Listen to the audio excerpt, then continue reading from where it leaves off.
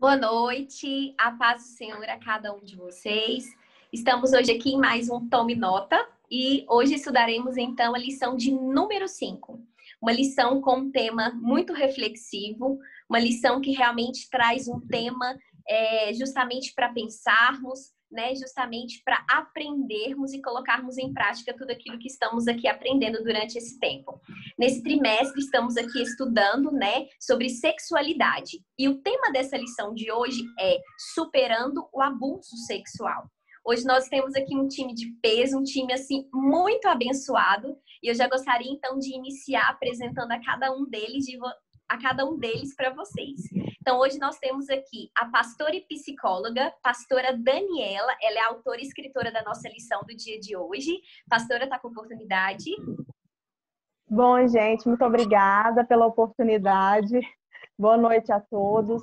É, na verdade, realmente é um tema extremamente relevante. Eu gosto de falar sobre esse tema e vai valer muito a pena estudar sobre essa lição. Muito bem. Também está aqui com a gente o diácono Pedro Henrique. Pedro. Paz Senhor, pessoal. Vamos lá estudar mais um assunto e com certeza um assunto maravilhoso e de grande valor de nós estarmos discutindo nas nossas igrejas. Isso mesmo. É, o presbítero Hermindo. Olá, pessoal. Espero que todos estejam bem é um tema muito importante para todos nós. Nós precisamos pensar, refletir sobre isso e, principalmente, agir da maneira correta quando nos depararmos com isso. E também a nossa irmã Camila. Oi, gente, tudo bem? É, fiquem atentos, fiquem ligados ao que a gente vai estar falando aqui. É um tema muito interessante que merece ser discutido, que precisa ser discutido. Então, fiquem bastante atentos. Ótimo. Então, como eu disse, é, é, um tema realmente de grande relevância. E assim, eu não quero perder nem um minuto, nem um segundo aqui juntos com vocês, justamente para aprendermos, né, debatermos esse assunto que tanto gera polêmica. E eu então já quero começar com a primeira pergunta. Eu quero começar com a pastora Daniela, e é justamente perguntando é, o que, que a Bíblia ela vai nos relatar, o que, que a Bíblia fala em relação a esse tema, pastora, sobre o abuso sexual. Bom, na verdade, a Bíblia ela não fala na palavra, né, no tema abuso sexual, né, de forma específica, assim. Você não encontra muitas referências relacionadas a esse tema, na verdade. Só que a Bíblia ela nos dá muito respaldo sobre esse cuidado, né? Cuidado com as crianças, cuidado com a mulher. Inclusive, tem um texto de Deuteronômio no capítulo 22, para quem quiser ler, né? Até dentro do 23 até o 29, fala exatamente o, o quanto era errado abusar das mulheres desde aquele contexto. Estamos falando de 4 mil anos atrás, né? E, e assim, a gente percebe que o que mais encontramos na palavra tem tudo a ver com cura, com refrigério, porque as feridas que, que acontecem elas, através do abuso sexual, inclusive na palavra nós temos aquele texto, né, lá de 2 Samuel, que também fala do abuso do próprio irmão, né? Estuprou a própria irmã, Tamar. Então, é, você consegue ter alguns históricos, e claro, vai falar da fornicação, da prostituição, tudo tem uma ligação direta né, com a questão da sexualidade, do abuso sexual. Então, a palavra de Deus, né, assim, você para para pensar, esse texto de Deuteronômio mesmo, 22, é, 22 é brilhante, o quanto o cuidado com a mulher é importante. Então, naquela época, quando a mulher era abusada, é, de alguma forma, os homens eram apedrejados, né? Os homens eram condenados e a mulher ela tinha que estar numa posição de ser protegida. Ela não tinha culpa de nada do que tinha acontecido. Então, assim, a Bíblia nos dá um respaldo principalmente relacionado à cura, e é aí que está o X da questão, né? Porque toda pessoa que foi abusada sexualmente precisa de cura. E na palavra nós vamos encontrar isso. Realmente a palavra do Senhor ela é um norte para as nossas vidas, né? E o cuidado de Deus ele é para todos. E é, realmente é motivo de ficarmos muito assim contentes, felizes, né? De ver o quanto o Senhor tem cuidado daquele que é seu. É, Hermindo, é, não sei se você acha o mesmo que eu acho, mas esse assunto, abuso sexual, é um assunto assim que gera muita polêmica, né? É, principalmente dentro da igreja. Então, eu queria saber de você por que, que você acha que esse assunto pode gerar tanta polêmica, principalmente quando vai ser abordado dentro da igreja. Olha, Rafaela, é, como nós falamos anteriormente, todas as questões sexuais elas geram é, certo desconforto, né? E o abuso sexual ou o abuso de uma forma geral, por ser um tema que está relacionado a isso, ele também vai gerar esses desconfortos, principalmente por nós observarmos que, infelizmente, os cristãos eles não estão isentos de passarem por essa situação. Então, nós temos relatos, nós sabemos que existem casos, ah, às vezes casos muito mais próximos do que nós imaginamos a respeito eh, do abuso sexual. Né? Então, pessoas do nosso convívio, ou às vezes até mesmo as pessoas que estiverem lecionando esse tema, podem ter passado por essa situação. Então, eu acredito que haverá sim é, certo desconforto, é, mas é algo necessário. Né? Nós entendemos que, uma vez que conversamos, falamos, expomos essa realidade, torna-se possível tratá-la, né? Torna-se possível enfrentá-la da maneira correta e assim gerar o que nós esperamos que é vida, né? É isso que, que a pastora Daniela disse, nós temos que buscar essa cura. E é justamente isso, por mais que haja um desconforto, que é um desconforto natural, por se tratar de um tabu, né? A, a, questão sexual como um todo é um tabu, mas nós acreditamos que mesmo assim ainda é necessário trabalhar para que nós tenhamos a cura. Alguém mais gostaria de contribuir nessa polêmica?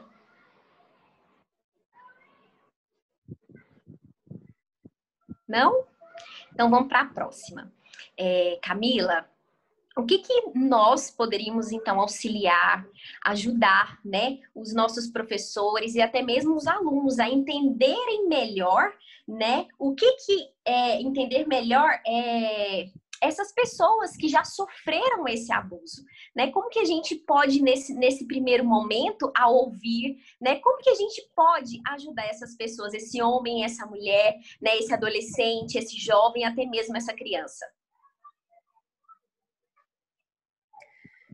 Então, Rafa, essas vítimas, essas pessoas, é, quando elas sofrem esse tipo de, de abuso, elas relatam que tem medo de, de, contar, medo de falar sobre, sobre esse assunto, porque sentem vergonha, por medo do abusador, por receio de contar para suas famílias, para amigos ou para alguém e eles não acreditarem ou eles distorcerem os fatos e, e começarem a acreditar que aquela pessoa provocou aquilo. Então, é, essas pessoas elas sentem esse medo, elas sentem esse receio. Também pode ocorrer um, uma relação de poder por parte do abusador, ou até mesmo a pessoa, a vítima, ela não tem gravidade da situação, do, do que ocorreu, né, da situação ocorrida. Então, assim, o que a gente pode fazer para acolher essas pessoas? É, a gente pode ouvir. Ouvir até mais do que falar. Nesse caso, é muito importante a gente ouvir, a gente sentar, entender, né? tentar entender é, o que a pessoa deseja que seja feito após ela relatar todos os fatos. É, e nós também temos que respeitar as decisões. Às vezes, num primeiro momento, aquela pessoa ela, ela não quer denunciar. Nós temos que respeitar as decisões e orientar a pessoa da forma correta, mas nunca forçar a vítima a fazer alguma coisa que ela não queira. Também nós temos que deixar a vítima ciente de que nós vamos guardar sigilo sobre tudo o que está sendo contado, tudo o que está sendo relatado, porque a vítima ela precisa confiar ela precisa confiar no seu ajudador, naquela, naquela pessoa que está ali, que ela confiou para estar tá ali ouvindo, né? Então, é, se a gente conseguir ouvir, se a gente conseguir guardar em sigilo e fazer a vítima ter certeza disso, se a gente conseguir respeitar as decisões dessa vítima, a gente consegue é, com mais é, de forma mais eficaz com que ela se sinta acolhida, com que ela se sinta é, é que alguém tenha uma preocupação com ela. Então, esses são os pontos que a gente deve se atentar. E é justamente o que o Hermindo disse no início, né? É ouvir mais do que falar. Né? Então, eu creio que nesta aula, é, nós, como professores, né, precisaremos ouvir mais os nossos alunos, ouvir mais quem vai estar ali naquele momento. Pastora Daniela, é, o que é e o que pode ser considerado abuso sexual? Sim, só voltando um pouco na pergunta anterior, é, a gente tem que avaliar, deixar bem claro quando estivermos ministrando a lição, enfim, é, a importância de avaliar a idade da vítima, né? É, porque às vezes, por exemplo, se uma criança você percebe que ela está sendo abusada sexualmente, você tem que denunciar, né? De imediato, você tem que conversar com alguém responsável e até tentar verificar quem é o abusador, né? Porque se for o pai ou o padrasto ou a própria mãe ou um primo ou um tio, é mais difícil. É, até alguém falou dessa relação do poder, né? Acho que foi a Camila mesmo que colocou. É, muitas vezes o abusador ela tem uma relação de poder sobre a vítima. Então, assim, essa lição ela teve um caráter mais voltado para essa questão da cura, né, da, da palavra, enfim, e essa escuta é realmente essencial. Então, escutar sem julgar, porque muitas vezes o abusador, ele, é, a, a pessoa abusada não vai querer contar quem foi o abusador. E aí, ter esse, essa questão da escuta, do sigilo é importante, mas também é essencial que essa pessoa procure também profissionais né, da área da saúde, por exemplo, psicólogo, para fazer terapia. Em alguns casos de abuso, a pessoa tem sérias consequências, acho que a gente vai falar um pouco sobre isso ainda, e isso influencia na vida dela, e ela precisa fazer terapia. E às vezes isso ajuda, né? Claro, Jesus cura, a palavra cura, nós temos todas essas referências, a fé, e mas a gente também tem que usar a ciência, né? Então essa questão precisa ter muito cuidado, né? Quando a gente for falar, nós temos que incentivar e, se for o caso, denunciar, dependendo da idade, a gente precisa denunciar. Nós não podemos nos calar. É, quanto mais silêncio, mais abuso, infelizmente, né? E o que que é esse abuso sexual? Isso é, também bem amplo, eu tentei deixar o mais claro possível na lição, para ficar bem mais tranquilo, assim, né? Porque quando a gente fala abuso sexual, a primeira coisa que vem na cabeça, criança, né? Criança, adolescente.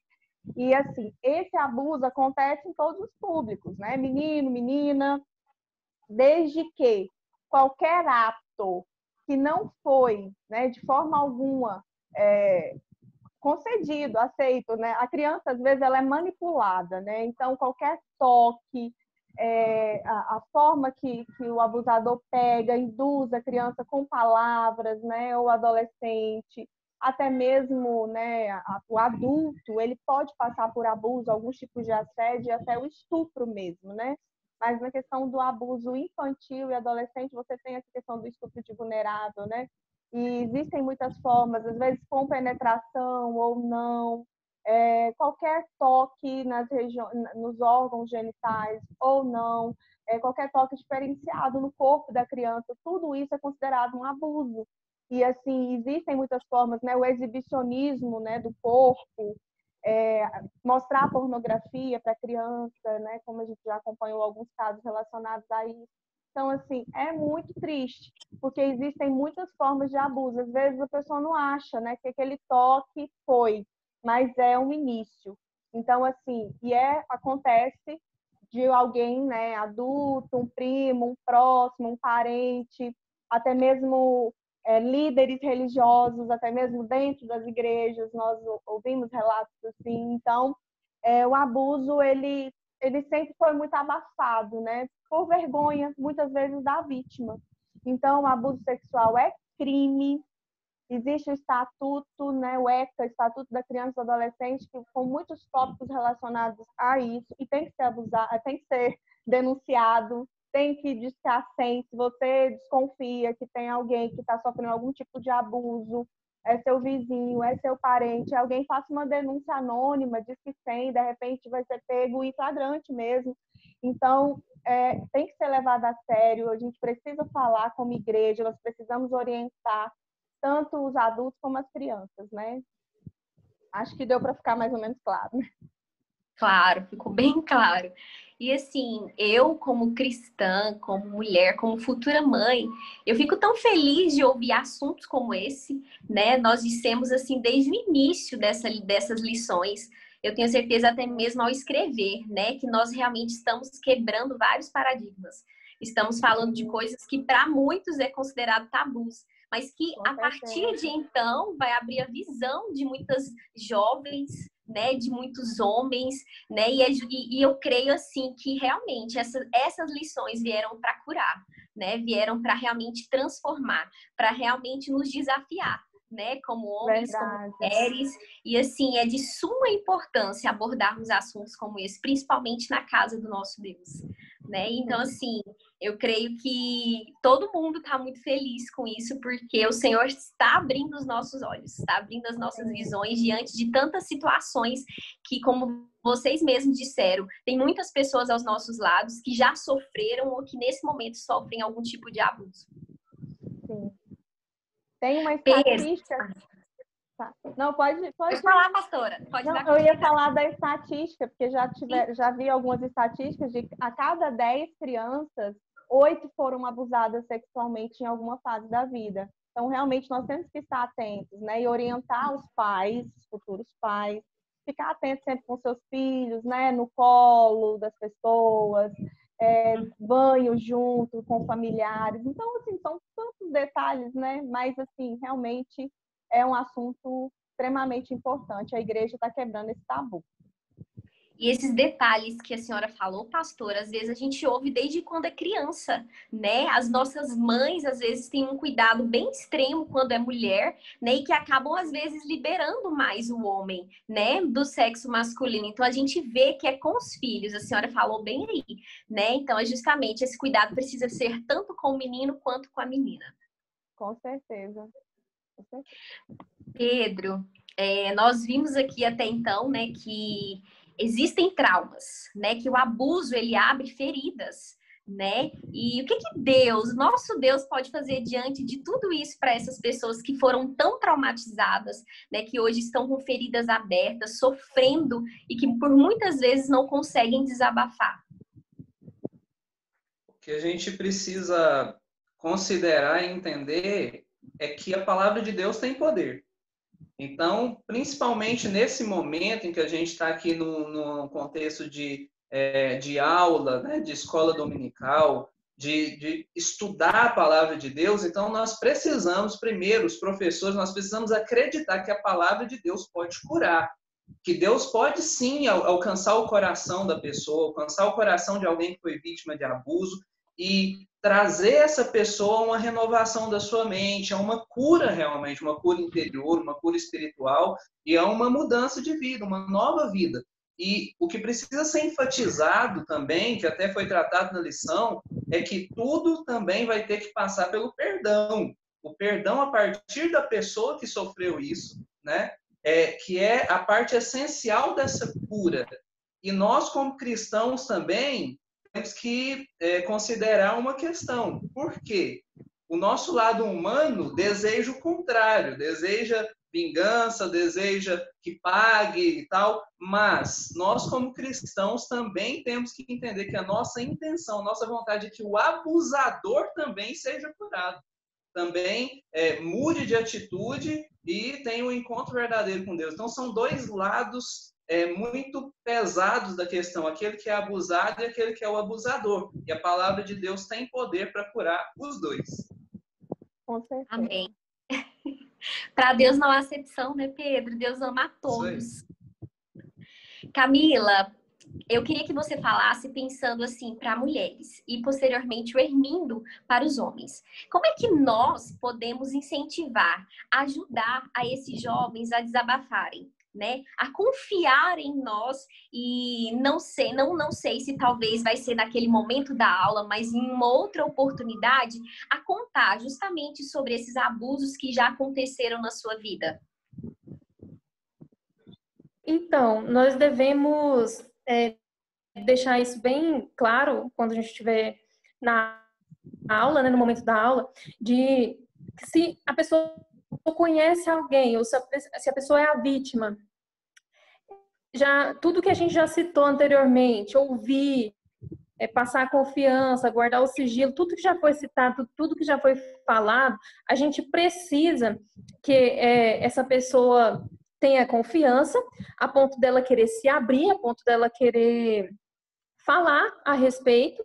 E quando essa pessoa ela tiver essa coragem, essa ousadia, porque é um momento muito delicado para a vítima. Então, assim, quando ela tiver essa ousadia de se abrir, então nós devemos aproveitar esse momento para apoiar essa pessoa, seja apoiar levando em uma delegacia para fazer a denúncia, seja apoiar levando ou incentivando, orientando a pessoa a ir a um hospital, procurar ajuda profissional para fazer exames, tomar medicamentos, dependendo do tipo de abuso, é necessário tomar medicamentos, né, por um determinado desculpa, por um determinado prazo de tempo.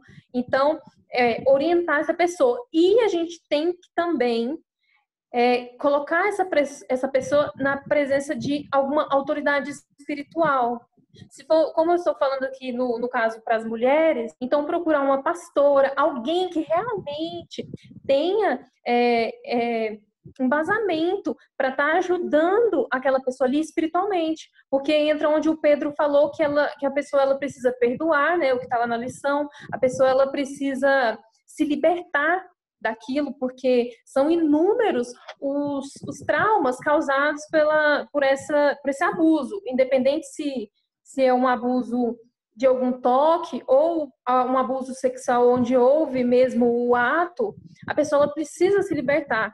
Então, procurar uma ajuda espiritual, alguém, uma pastora, alguém que, que oriente. E pensando nesse, nesse lado feminino, tem um, uma questão muito, muito séria que é importante a gente falar, porque isso não é muito falado, que é assim, geralmente acontece com as recém-casadas que às vezes por falta de, de conhecimento, de, de alguma conversa com alguém mais experiente, elas acabam não conseguindo manter relações sexuais com seu esposo, mesmo não tendo sido abusadas, mas elas ficam é, pensando que elas não conseguem é, manter essa relação sexual é, pelo fato de que foram abusadas tão novas de que elas a ponto delas não lembrarem do que aconteceu. E muitas vezes a questão não é essa. Muitas vezes o abuso mesmo ele não aconteceu. Esse assunto ele é muito recorrente e ele é pouquíssimo falado porque as pessoas que, que sofrem com isso, elas têm vergonha, elas sentem vergonha de falar. E o que essa pessoa precisa fazer? Se ela não consegue, essa moça, essa, essa recém-casada, se ela não consegue manter relações sexuais e ela pensa que pode ter sido algum abuso, ela tem que procurar uma ajuda médica. Espiritual também, é claro, mas uma ajuda médica, porque existem muitos problemas anatômicos que causam, é, que impedem que isso aconteça. Isso é muito comum e as, e as jovens casadas, elas sofrem anos, anos, anos. Eu, vi relatos de anos que elas sofrem. Eu conheço pessoas que já sofreram com, com isso, a ponto de pensar em se separar, porque não consegue ali é, atender as necessidades do esposo. E elas pensam: não, se, se isso não é possível, então o problema é comigo, eu vou me separar. Então, é, é muito importante a gente, a gente orientar a pessoa a buscar um tratamento, porque existe tratamento, existe cirurgia, existe cura. Né? Se o problema for dor, uma dor excessiva no momento, existe tratamento. Então é muito importante a gente ressaltar isso, que a pessoa, se ela não tiver é, liberdade para falar sobre isso, ela vai tomar conhecimento de que existem médicos que podem ajudá-la, que pode orientá-la e tratar esse problema. Termino? Bom, é, nós passamos por esses mesmo essas mesmas dicas, né, da Camila, e eu penso que para o homem a, a gente precisa primeiro desmistificar um pouco a questão do abuso sexual, né? A, a ideia é de que existe uma carga totalmente diferente quando se trata de um homem ou de uma mulher abusada na cabeça do homem muitas vezes, né? Eu digo porque é, em muitos momentos ah, os homens eles acham que estão em vantagem quando acontece algum tipo alguma situação. Eu falo isso na no período de adolescência, por exemplo, né? É, vamos pensar aqui em uma situação em que um jovem é levado por um de seus familiares a uma casa de prostituição isso é contra a sua vontade, é contra ah, aquilo que ele esperava, e isso também é um abuso, como nós estamos falando. Fazer qualquer situação, é, é, qualquer ato que vá contra a vontade de uma pessoa, de um homem ou de uma mulher, não somente na questão sexual, mas em, em todos os sentidos, isso é um tipo de abuso, né? Então, o homem ele precisa primeiramente desmistificar a ideia de que está em vantagem, é, é abuso, precisa buscar ajuda da mesma forma. Né? Então, é, existe um tabu muito grande em falar que o homem é abusado. Né? Ah, geralmente, nós temos uma ideia de que a mulher é mais abusada do que o homem, mas o abuso ele acontece para ambos. Né? É, existe, é, existe aí essa necessidade de repensar essa situação para que o homem também busque ajuda. E a dica é justamente buscar ajuda de quem pode ajudar, né? Então, nós estamos falando aqui de profissionais competentes e no sentido de igreja, nós sempre precisamos ter um apoio espiritual. E para desenvolver isso, e é, falando para os professores, para os líderes, é, isso é construído ao longo do tempo. Né? Não, não será nessa aula que talvez você conseguirá construir essa relação, mas isso precisa ser construído ao longo do ano, ao longo de vários anos, porque a confiança ela é construída. Mas ah, deve-se haver essa busca né, por auxílio, por ajuda. No caso da pessoa que sofre abuso, do homem que sofre abuso, ele precisa buscar ajuda dessas pessoas que já é, pessoas que já eles já têm confiança, né? Pode ser um líder, o líder de jovens, pode ser o pastor, né? E o adequado é sempre que se busque o pastor. A ideia é primeiro pode se buscar um líder, mas os dois podem ir até o pastor, porque existe essa questão do aconselhamento pastoral, né? O pastor é a pessoa indicada, a pessoa adequada para resolver algumas situações dentro de sua igreja.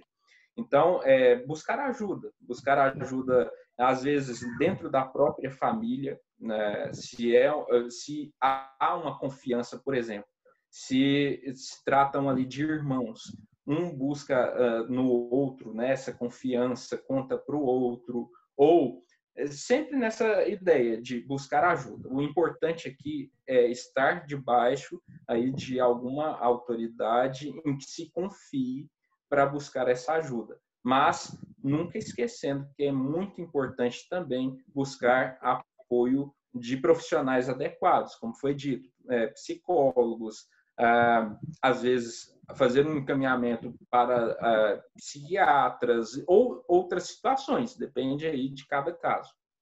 Então, é isso. É, primeiro, desmistificar essa ideia de que não acontece abuso com o homem e, segundo, buscar ajuda é, com as pessoas adequadas.